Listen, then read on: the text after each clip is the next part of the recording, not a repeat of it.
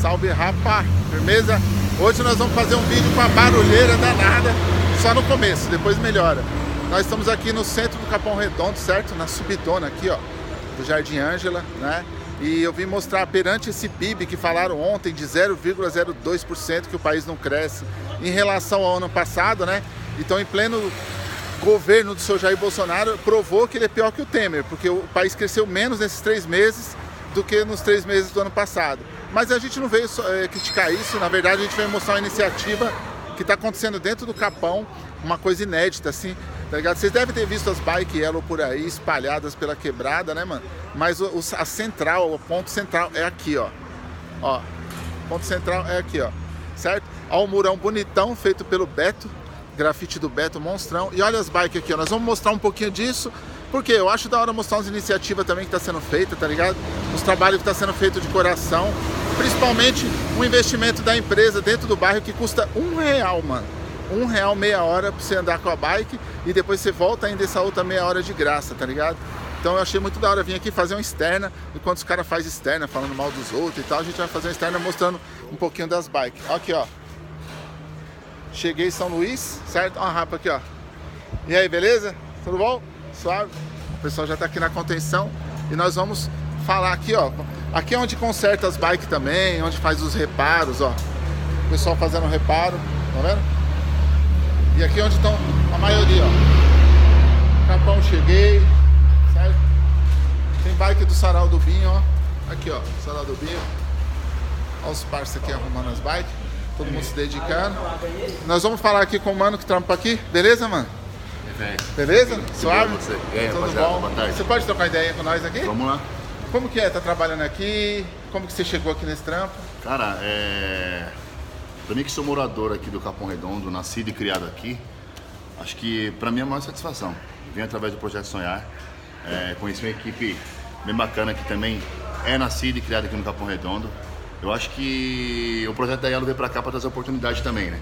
Porque tem muita gente aí de comunidade carente, de família, infelizmente, de uma, de uma baixa renda, que infelizmente não pôde ter uma bicicleta. É verdade. E é hoje, verdade. por exemplo, no meu caso, as bicicletas que eu andava eram dos meus colegas. Tipo, É. Por exemplo, deixava andar, eu pegava escondido e. É, tem gente que não pensa nisso, né? Que pra eles, às vezes, do outro lado da ponte, uma bicicleta é um negócio comum. Pra nós aqui é um bagulho muito louco você ter uma bicicleta da hora. É, exatamente, né? exatamente. E assim, e como que é? Você arruma as bikes, coloca as placas. Então, hoje, hoje nós estamos fazendo um serviço interno aqui, que é de colocar as plaquinhas né, dos nossos parceiros, tá aí, ó. Ó, que legal, Projeto mano. Viela, Viela, tem aí, ó, Monte Azul. Monte Azul. Tem pessoal também aqui do Projeto Sonhar, também tem Sonhar. aqui, ó. Meu parceiro aqui, ó.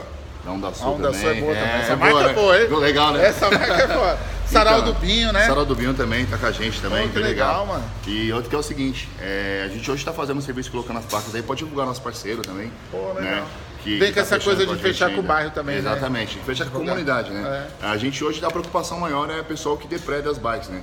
Só que assim, a gente tá vindo pra cá justamente pra acabar com essa má visão que Uma o povo visão, de fora é. tem. É que os caras achou que a da comunidade quebrada, né? ia quebrar tudo e tal, mas pelo que a gente tá vendo, é, tá na média Tá do na que média, acontece tá na nas média, cidades exatamente. grandes, aí na Faria Lima e tal, né? Posso, Tá- tá na eu não média. posso afirmar que ah, vai, vai acabar, mas acabar. reduzir bastante, bruscamente vai. tenho da hora. E aqui tem um fator também que acaba a população também ficando mais próxima. né? Exatamente, fica mais próximo. Inclusive, a gente fez ponto aqui de estacionamento.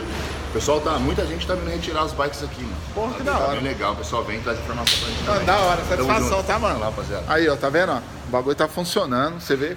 Então, quer dizer, o próprio pessoal tá aqui, ó. Não é aquele negócio que vão roubar tudo, vão acabar com tudo, a periferia não tem estilo, não tem não sei o quê. Tá aí a prova que dá pra fazer iniciativas dentro da própria comunidade, dá pra trazer essas iniciativas, tá ligado? E um canal que nem o meu, que é um canal de protesto, que fala de muita coisa, tem que falar das coisas boas também, né, mano? Ó o Ale aqui, ó.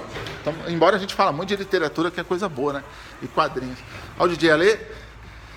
Mas aquele não é o DJ Ale. Não, aqui não. Aquele é quem? Aqui eu sou o coordenador da, do projeto, né? Eu, Rapaz. Eu coordeno aqui um, é, duas equipes aqui que.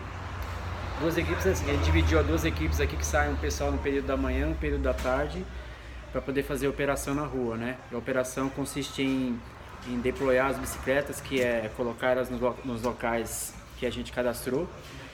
E, ao mesmo tempo, a gente sai recolhendo as, as bicicletas que estão fora de área ou que algum é, algum usuário reporta que está quebrada, que está com algum problema, então a gente manda a nossa equipe lá para verificar se é o caso de trazer para o galpão é, ou se dá para resolver lá no mesmo local e deixar pra, pronto para uso. E uma, uma, pergunta que eu acho que todo mundo do outro lado tá.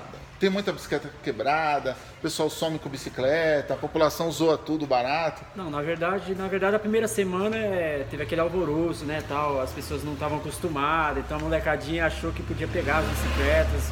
E pra gente foi uma experiência até diferente, porque a gente não achou que ia ser assim, né? E a repercussão. Mas a parte positiva que a gente é, costuma é, conversar entre a gente é o que?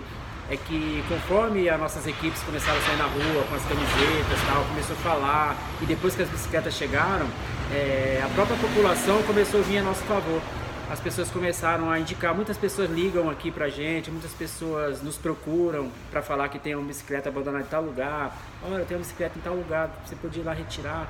Ou vem trazer as bicicletas aqui. Ah, tem esse negócio é, de trazer aqui. É, vem trazer. Tem muita gente que põe dentro do carro, põe nas costas, vem trazer. Caralho, que legal. Leve, tá vendo, rapaz? Olha aí. Seria muito legal. e isso não existe em outros lugares. Aí, se você vê nesses bairros nobres, você acha que o cara vai parar a vida dele para pôr uma bike em cima do carro e trazer, né, mano?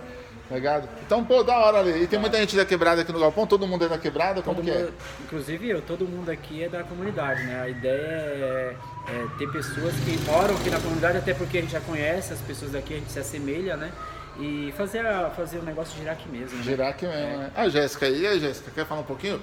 Ah, eu quero. Fala aí. É, tô achando esse projeto incrível, também sou daqui da comunidade, sou do Jardim Guarujá que é interessante é que, como nós estamos numa comunidade, muitas pessoas não tiveram a oportunidade de ter uma bike um dia. Então, hoje a Yellow está aqui no Capão, no São Luís, em todas as comunidades em volta e está trazendo, né, um preço acessível e outra coisa que é muito interessante, não sei se a galera está sabendo, a volta da bike é sempre de graça. Então, vem com a gente e dá um rolê de bike. Aí, ó, ó o convitão, tá vendo, rapa? Que legal. Obrigado, Jéssica. Obrigado pelo depoimento aí. Meu, eu tô indo lá para um da sua agora, né? Que eu tenho que trabalhar também, vender roupa, né? Afinal, os caras estão alugando as bikes aí. E é muito legal ver essa iniciativa, que outras empresas aí vejam que dá para trabalhar bem na periferia, que dá para ter acesso. Aqui tem muita empresa na quebrada, na verdade, mas às vezes as empresas que têm essa tecnologia, que têm esse acesso que nem os moldais aí, as bikes e tal, elas não atravessam a ponte com medo de, ah, todo mundo vai pegar e tudo. E nada, rapaz. O pessoal aqui, mano, é primeira linha. O pessoal sabe como é a dificuldade de ter uma coisa. E aqui as pessoas não quebram na covardia porque elas sabem a importância das coisas. Mesmo que não sejam delas. Embora é delas também, porque elas estão andando. Então a quebrada tá mais amarela, né? A partir de agora. Onde você vai, você vai ver essas amarelinhas aí, mano. E é muito bom estar tá podendo fazer esse vídeo aqui, principalmente que eu tô dentro da quebrada, né, mano? Dentro da minha família mesmo, dentro da minha história. E poder fazer aqui. Não tive que ir pro lugar, pegar um busão e pá, pra mostrar que a quebrada tá evoluindo. Não vamos deixar, daqui a pouco tem disco voador lá na Faria Lima e aqui não tinha nem bike, velho. Então o objetivo é esse mesmo, que agora a prefeitura aí começa a dar uma liberada nesse patinete, que a prefeitura está sendo bem covarde na questão dos patinetes, né, mano? Bem covarde mesmo.